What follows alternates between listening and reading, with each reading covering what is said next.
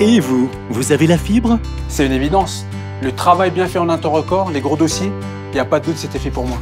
Déjà, mon père prenait à l'époque la rapidité d'exécution. S'il me voyait aujourd'hui, c'est clair, la fibre optique, ça a changé ma vie. Hein? Ah, oui, la fibre optique. Je peux chatter avec mes fournisseurs au bout du monde avec une fluidité impressionnante. Pareil pour le cloud et les sauvegardes en temps réel.